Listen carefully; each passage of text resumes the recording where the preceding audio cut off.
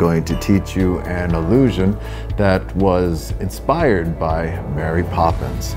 Ever since I was a kid, I've always been intrigued by that scene where Mary Poppins appears to pull things out of her carpet bag, uh, seemingly from nowhere. And so this is an illusion that tries to recreate that effect, but there are no camera tricks and no computer generated graphics. It's all just an illusion that you can build yourself.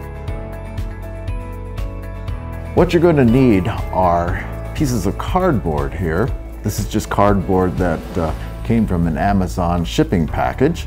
And all I did, I wanted to add a little color, so I just uh, cut out some, glued some paper on here and then cut it out.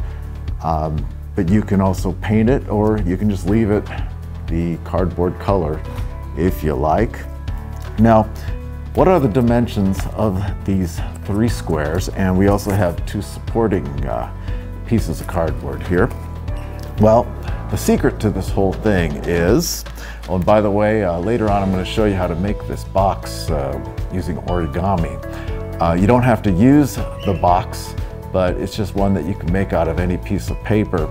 Uh, for your trick, uh, if you happen to have like a little coin purse or maybe a little jewelry box that you want to use, you can, but just to warn you, for the trick you're going to have to cut a hole inside of this box or whatever it is you use. So this origami uh, box here is very convenient and it's something you can easily cut a hole in and adapt for the trick. So I will be teaching you step by step how to make that later in the video.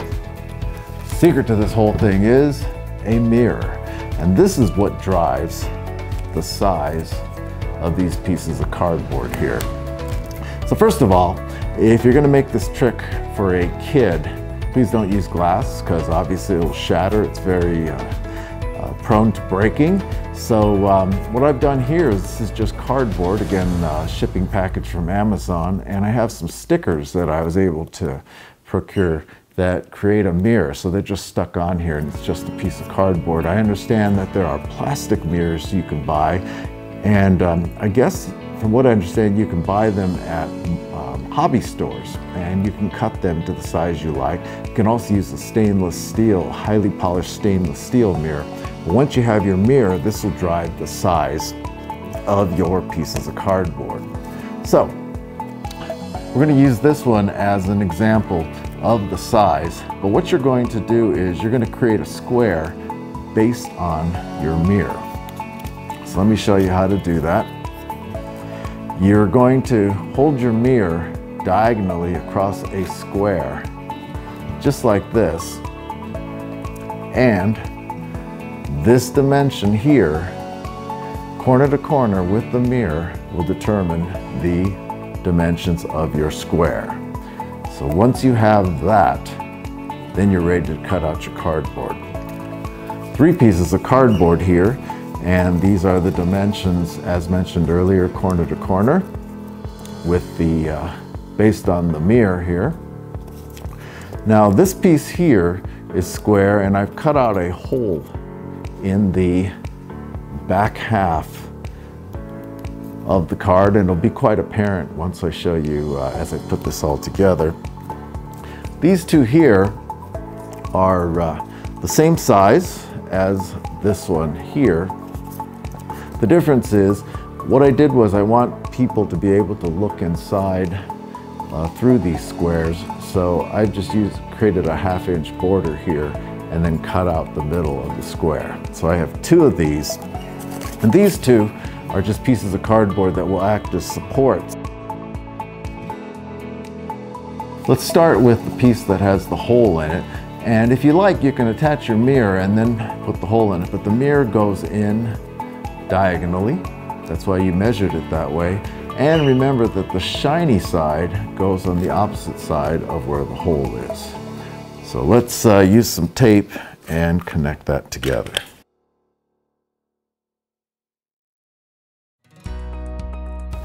Don't worry at this point if it doesn't stand up.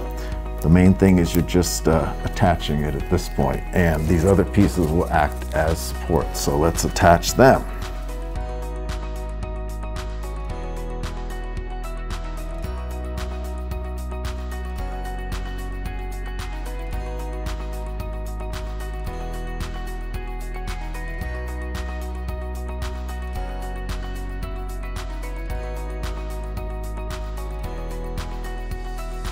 At this point, you can see that I have something of a box here with the mirror inside. And given the right lighting and the right placement, it looks as if there's an empty box here. But of course, there is a mirror inside that's reflecting back on the front pieces here. And we'll show you how to do the trick, but let's finish the rest of the box here by adding our supports in.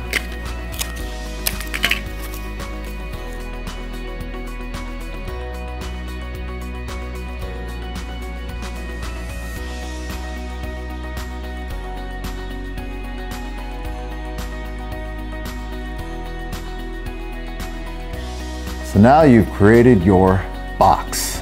So you have a mirror running here. You have the piece with the hole in it on the top. That's your essentially the top of the box here and has the hole right there. Towards the back, that's just past the diagonal point here. So whatever goes through here will go behind the mirror, which is the secret to the trick. Two panels in the front with cutouts, as explained earlier, and finally in the back, just two pieces of cardboard that will act as a support. So just helps to support the box. Let's talk about the origami box. Now, as mentioned earlier, you can use any box or small coin purse, and if you have a big mirror, you can make a big giant box. Uh, but for purposes here, if you use a box, you're gonna have to have something that has a hole in it, which is why I think this origami box works very well for this trick, because all you need is a piece of paper. I'm gonna give you the instructions now on how to make this box. Here's how to make this an origami box.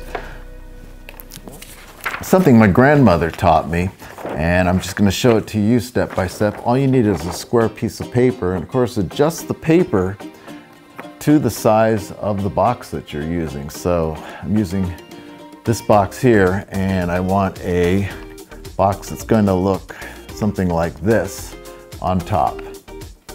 So with your square piece of paper, what you're gonna do is fold it diagonally, touch the corner, At this point, we're just trying to get creases. Fold it in half again.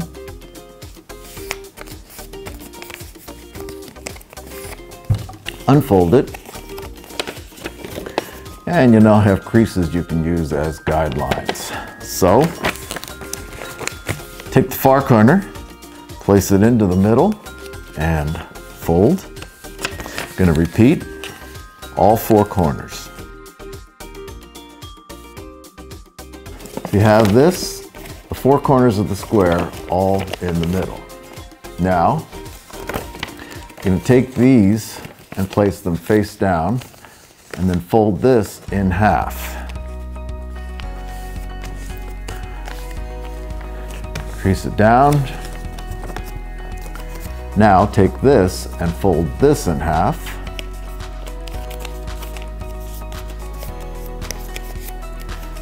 And you'll have a triangle.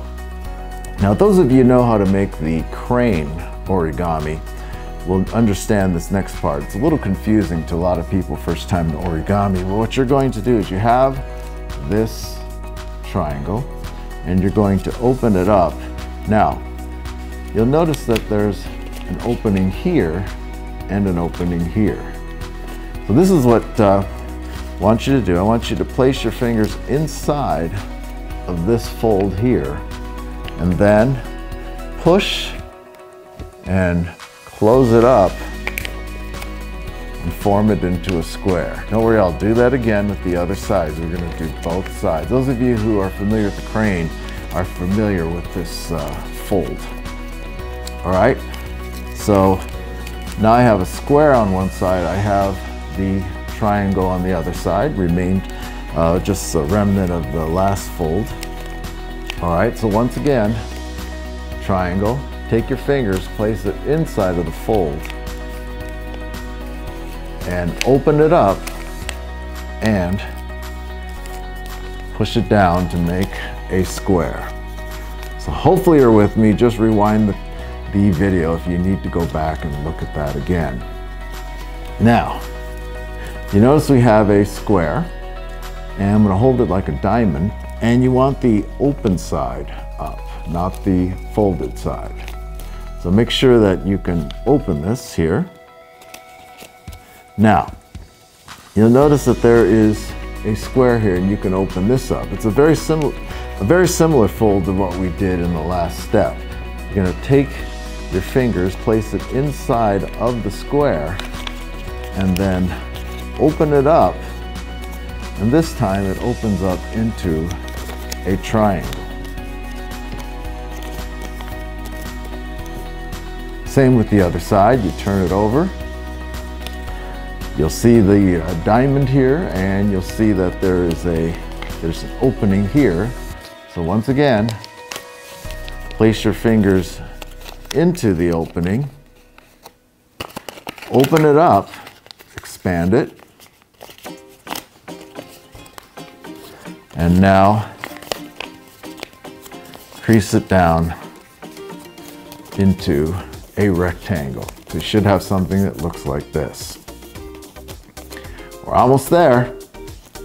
Now what you're going to do is you're going to turn and just fold it this way. So once again, you're here, you turn, and then you fold these on both sides this way. So on both sides, you, know, you should have something that looks like this now. Now for the last step. You're gonna take this edge and you're gonna fold it to the center and you're gonna do this on all four sections where you can do this. So fold that in, turn it over, and do the same thing on the other side. So fold that in, fold that in. Should have something that looks like this. We're almost there. Take this flap, there's two flaps here. So just take the top one, fold that down, that, turn it over, and you're gonna fold this one down.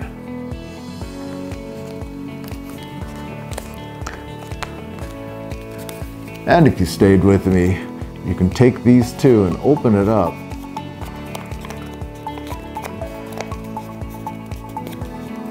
And you have a box. you're gonna have to cut out the bottom here. So here's the easiest way. What I did was I just took a marker and then I took the marker. Remember, spectators aren't gonna look inside of this box because otherwise they would see the secret. So what you do is just take your marker and draw the square. Then what you do is unfold this you have just a piece of paper here. But when you unfold this, you'll get back to your first original piece of paper and then you'll see your outline that you did with your marker. You can cut that out and then refold it with the hole back into this.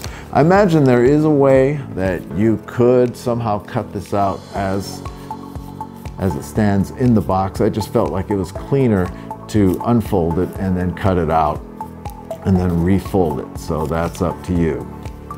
All right, let's get to the next step. At this point, you're going to attach your box to the other box. Now remember, you have that hole here, you have the hole here, and you want those holes to line up. So you can just use a little tape here and secure this box on top. So let's do that.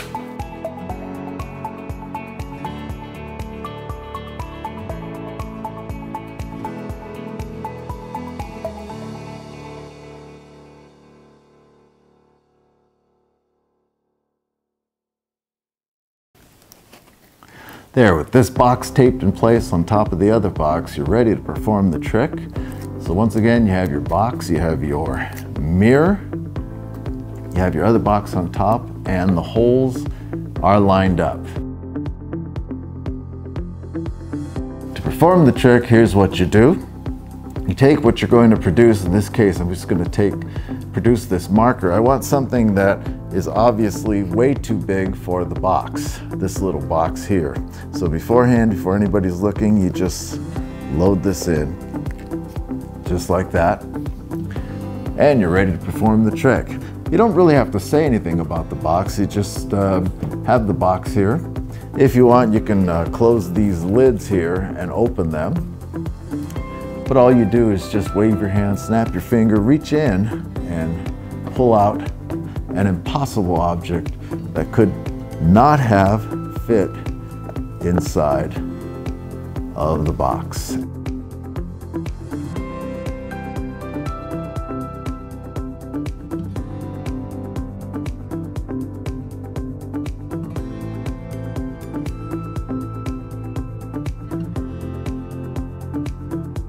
Few tips when performing this trick. First of all, be very careful that when you are performing the trick, you don't put your hand behind or any object behind the prop here because anything behind there disappears as you can see. It's supposed to look as if you're viewing through the box um, and if you put anything behind it, people are going to suddenly notice that things are disappearing back there. Second thing when you're performing this trick is, of course you have uh, your item loaded inside, but you want to make sure that you look at the viewpoint of the spectator. For example, here you'll notice that this black surface here, people are looking down slightly and the black surface reflects inside so it looks like there's nothing but black surface. But you have to watch out because if you take it, say back here, then it doesn't look right because they should be seeing part of this wood surface through here, but they won't because this is reflecting the black surface. So you have to be careful that from the viewpoint of the spectator, they are seeing all of this surface reflected and there's still background back here so it looks natural as if they're looking through the box. And of course the other thing is make sure that they're not high up and they can actually see inside. Now in order to produce something for example, this marker here, it has to stick up just a little bit before I can pull it up. Otherwise, I wouldn't be able to uh, produce it. So, for that reason, you just have to be careful that you don't allow spectators to look in from the top and see the secret to the trick. And that's the illusion inspired by Mary Poppins. Well, I hope you have fun performing these easy magic tricks for your friends and family. Please give us a like and please subscribe for more video lessons in the future. And by the way, please comment below if there are any tricks that you would like us to teach in future lessons. Thank you for watching. See you next time.